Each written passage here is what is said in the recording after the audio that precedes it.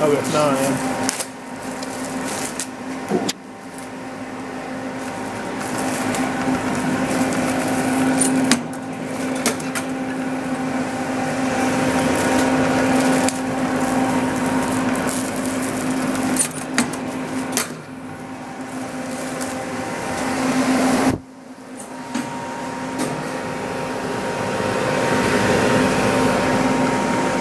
This time heats up nice.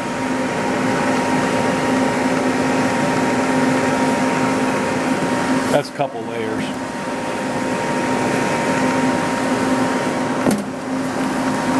That's temperature control. The conveyor speed.